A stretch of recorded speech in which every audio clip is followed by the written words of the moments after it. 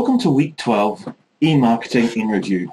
It's the last week of semester and we're going to have a look back over what happened and what took place. So in our run schedule, we have just wrapping up the class participation and finalizing that portfolio. So let's look back. There are a few things we didn't cover in this course, and we're going to explain why. Now, one of the things that was left out is the concept of search engine optimization, because frankly, it's pretty much one of those areas where anybody who successfully manipulates a Google algorithm and openly states, hi, I've cheated the system, will then sell their book for $14.95 or $7.99 or their special super secret source seminar series for $349.99. If they have successfully routed past Google's operations, Google's just going to buy the book and pay for the course and change what happens next. What we did instead is we looked at authenticity. Now, one of the driving forces behind search engine optimization is the idea that the algorithm looks to replicate human behavior. So the more authentic the content is, the more your content is fit to audience and the type of words that your audience would use or the language they use to search or just the way that they would exist on the internet, the more likely it is your, so your content will do better. So search engine optimization is one of those dark arts that's also best considered one of those daft arts. It's, even if it was successful, it would be countered very easily because to make a widespread search engine optimization policy work, you'd have to let people know about it and Google would be able to counter it because they just simply look themselves up and find out.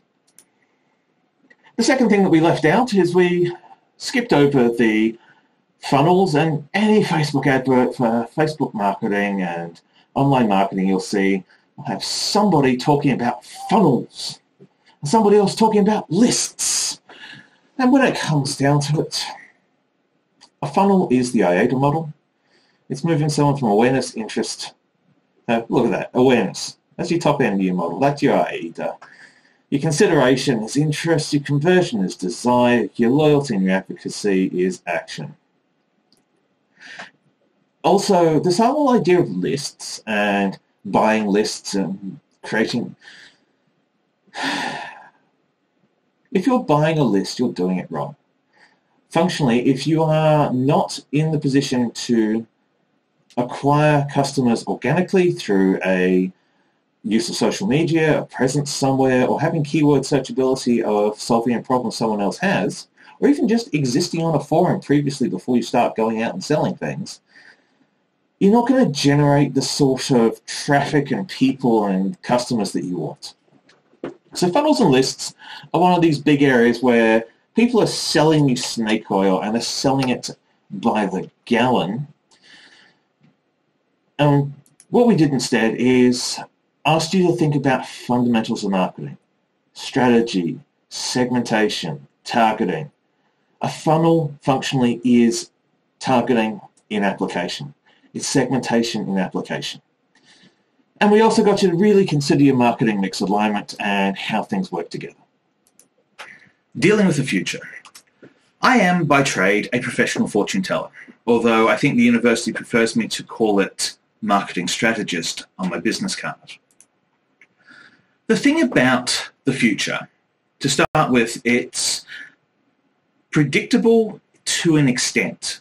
There are cycles, there are patterns, there are things you'll recognize. But also, it's the Hawthorne effect writ large. As soon as you successfully predict the future, you start engaging with the present and you start making changes to that present, which either helps reinforce and solidify your future, or the result of you taking a series of actions means that your market and your the counteractions by your competitors means that future that you had in mind no longer exists.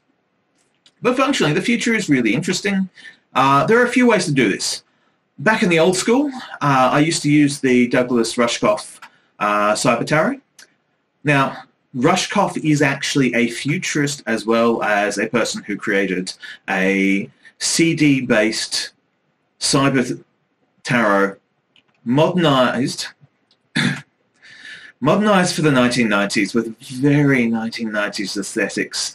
Uh, ran I used to run it on my old Mac back in my uh, previous life at a university somewhere else.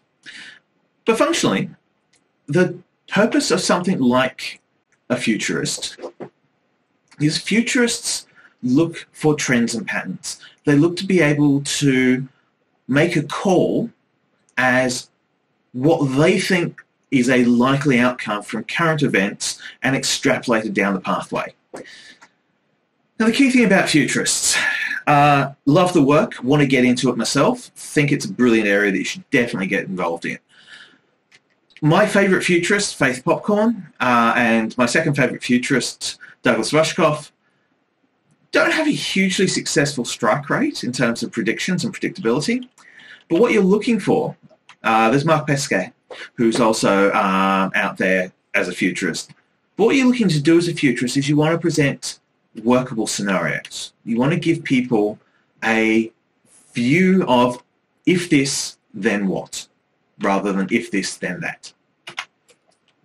Now, the third area of old school fortune telling that I have plied my trade with is the modified GE matrix. Uh, I particularly like the GE matrix, as you might have gathered from making several appearances across the semester and showing up in assessment tasks now and then. But the idea of the matrixy and the, the fortune telling here is that you are predicting the opportunity and you are taking action based on your capacity. So you are looking at what a possible future could be and deciding how best to chase it, embrace it, or walk away from. The fourth place of uh, fortune telling and futurisms to be aware of, uh, Terry Pratchett is has got one of the best takes on fortune telling. Uh, look, a lot of Terry Pratchett's work is heavily influential in this course and the way I approach the world.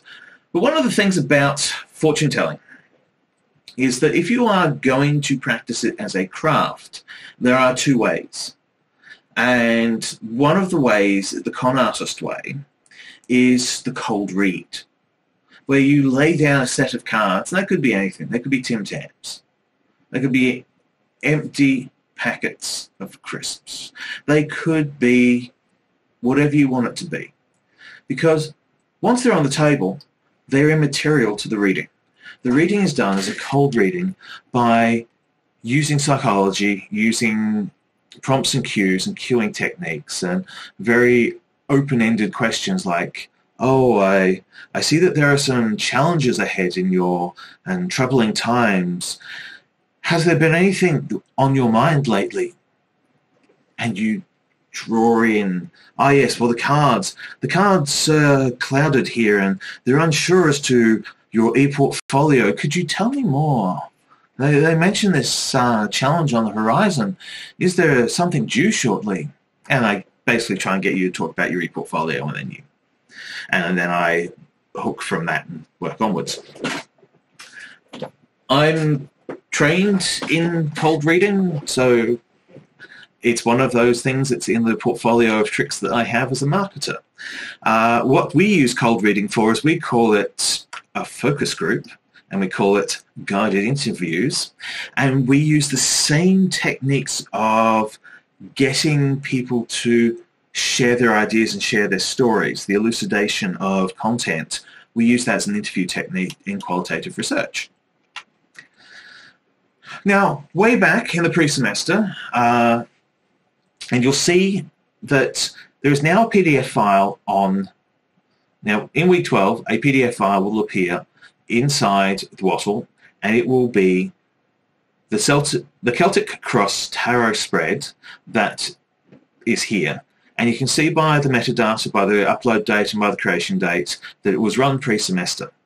And what I'm interested here is just your take on how well did the cards, if you've got the PowerPoint uh, and you mouse over the particular images, you'll be able to see the pop-up explanations of them. But how well did this describe the semester? How well did this describe the experience for the subject? So, a couple of things uh, in terms of predictions. By the way, the other thing you want to do is, if you ever are doing fortune telling, or as we like to call it in the trade, marketing strategy, the key is to say confidently things that have a reasonably good chance of coming true, and if they don't, are relatively forgettable.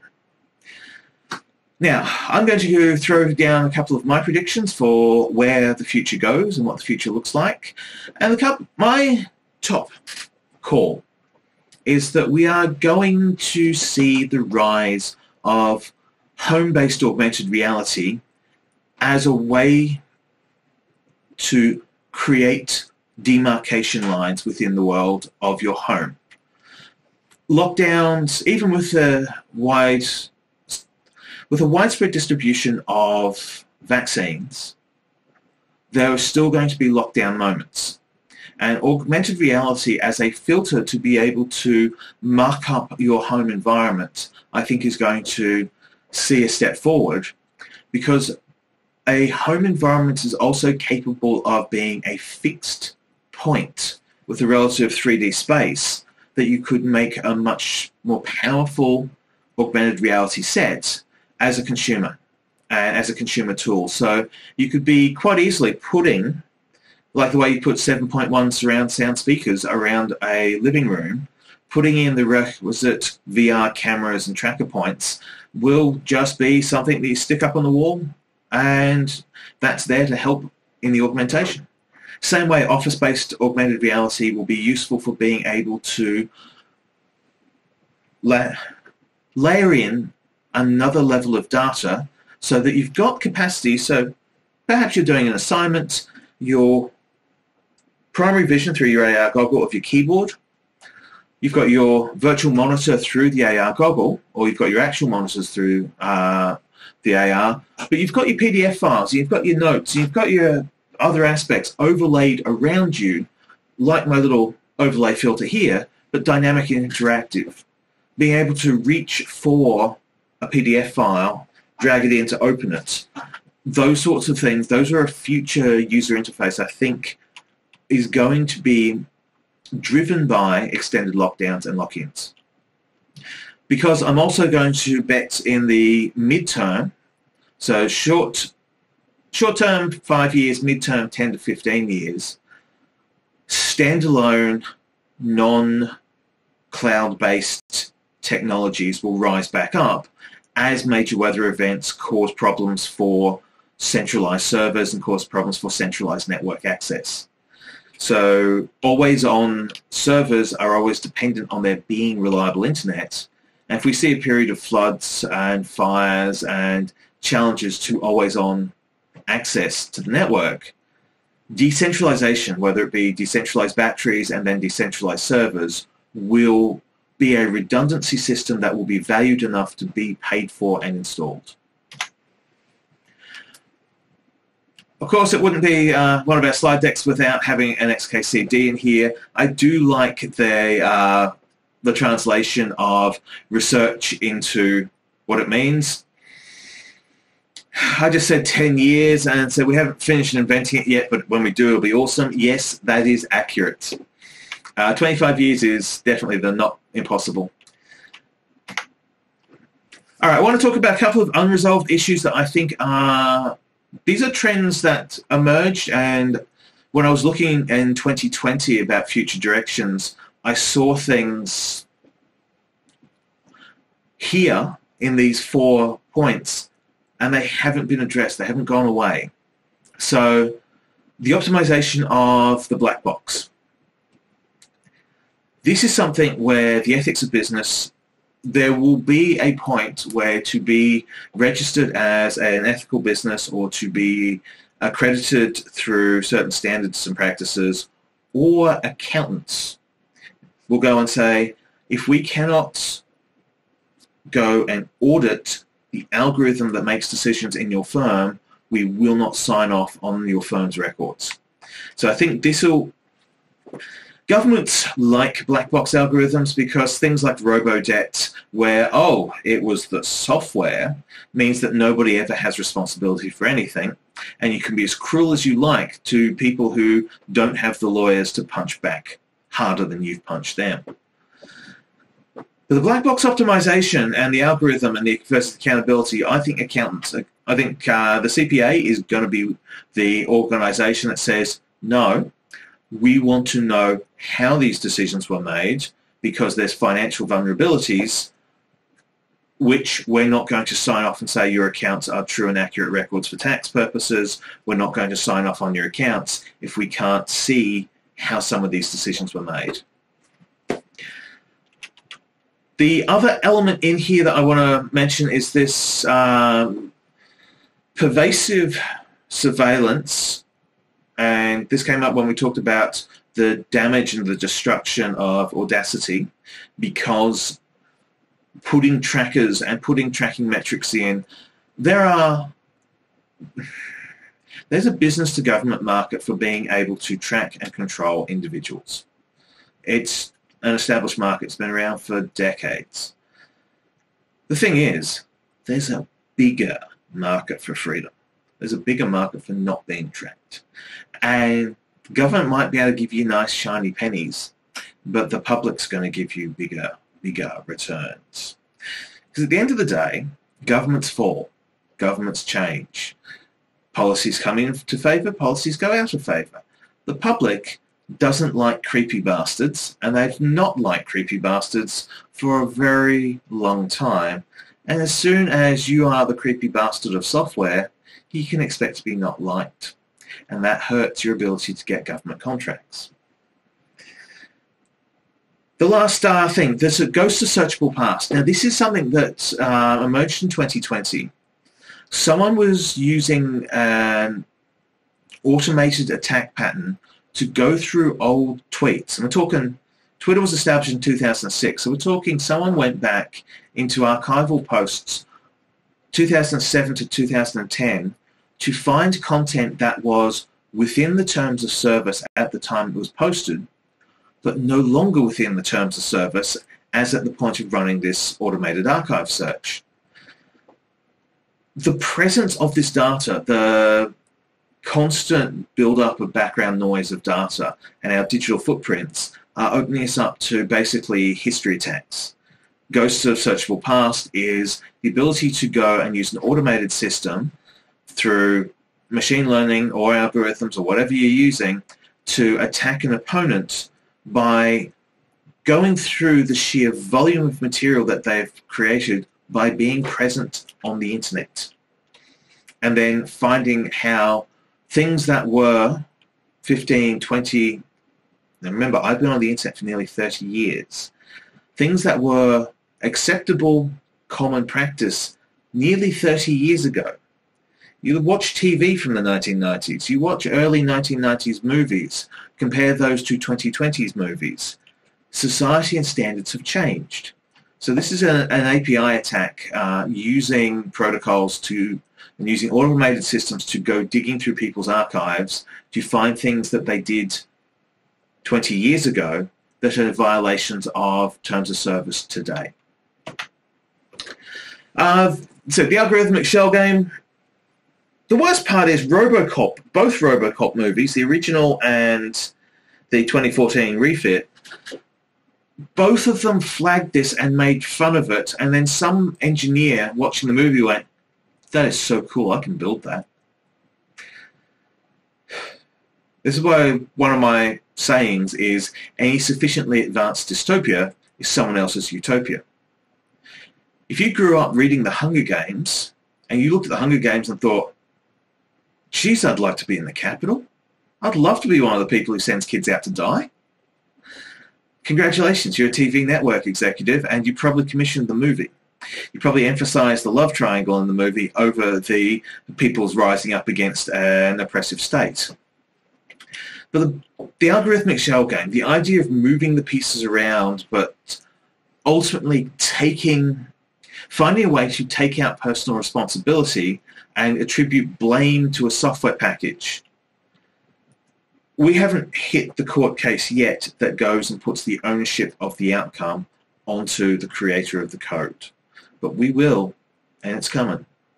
And governments may try and legislate to block it, but eventually somebody somewhere is the person who gave the go signal and they are the person who then has the responsibility for the stop signal. Uh, so I mentioned AI and pass thing as that AI doesn't exist. We have machine machine learning, which is I have had cats that are smarter than machine learning systems and pick up much quicker on the uptake than machine learning is. Functionally, at the moment, any machine learning or artificial intelligence system is a very fast spreadsheet and it's a spreadsheet filled with human bias and whatever data you put into the system bakes the bias of that data into the system's behavior. AI is not a neutral concept. AI is not a neutral object. It is based on learnt. It learns from data sets, and if your data set is corrupted by human bias, the AI picks up the human bias. For example, when the police insert their neutral data that's been the result of intentional and deliberate racist profiling of minority groups in, to drive them out of key suburbs so that majority group developers can redevelop the properties for profit. Stunningly, the white collar crime doesn't get flagged as the big thing despite it being more prevalent, more likely, and way easier to detect because the code was written from a database that was corrupt. So if your database uh, successfully identifies every turtle it ever sees as a cat, congratulations, your AI is going to be functionally stupid. Also, there's a really good AI attack that you can use AI prioritizes written or typed labels over object recognition. If it can read the text, it will assume the object label is correct. So yeah, machine learning, look, there will be eventually useful applications of it. At present, one of the biggest problems is that the machine learning is both primitive, but also, back from when I first encountered machine learning in the mid-90s. So it's not a new thing either. One of my colleagues had an impressive array of computers in his office and he was engaged in fuzzy logic machine learning research. And it turned out that what he would do is he would tell the machine what the right answer was and then it would learn the pathway to the right answer and then he'd give it new data and it would find the correct answer. Or in other words, it basically successfully skipped point A and went straight to point B and gave him the result he was looking for.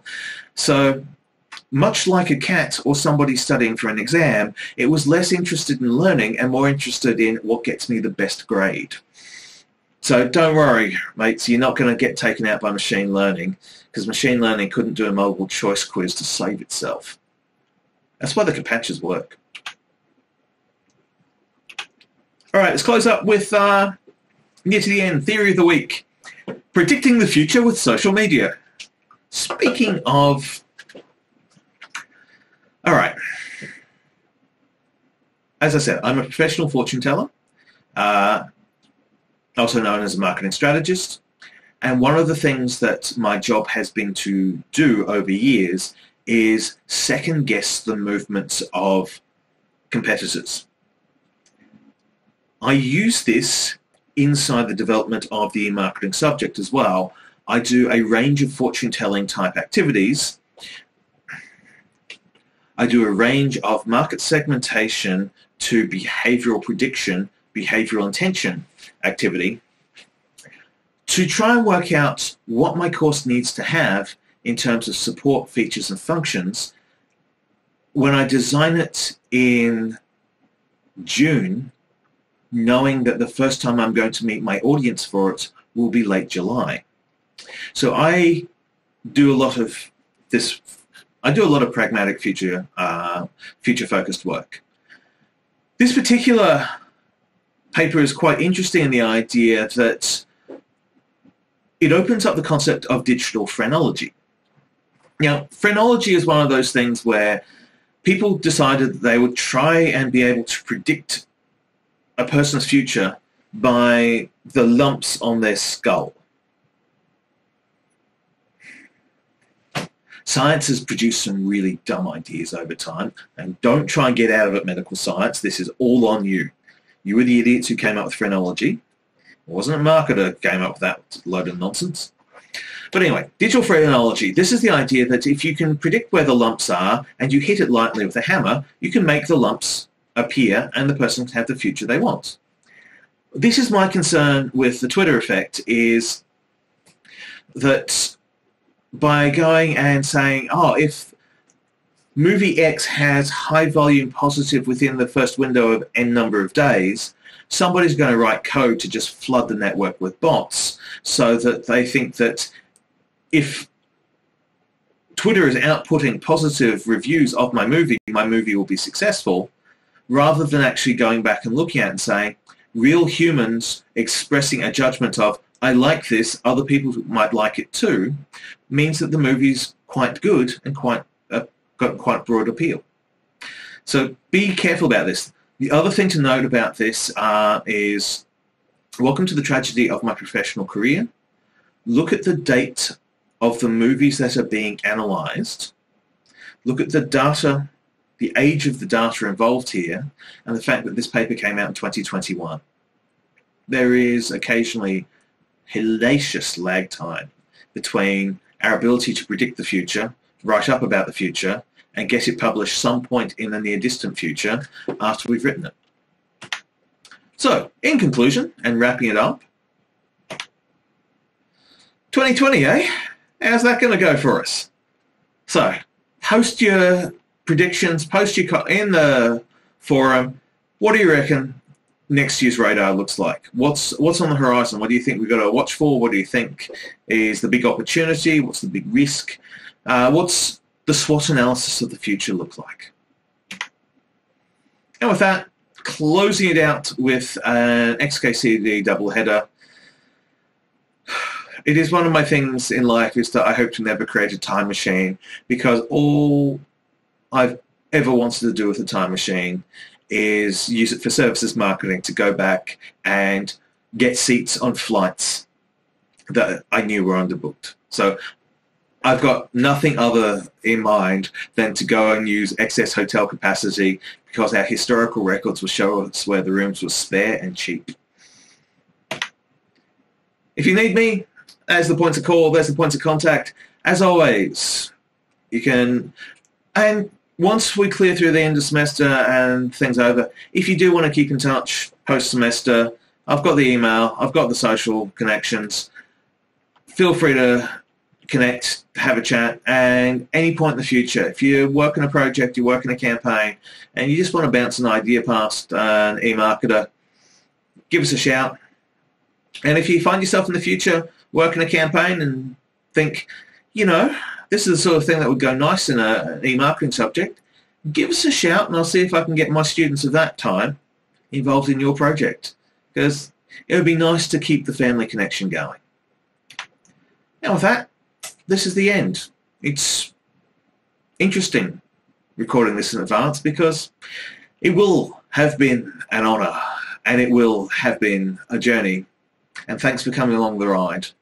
I ask a lot of my students and I expect a lot of people. I push, I support, I do what I can.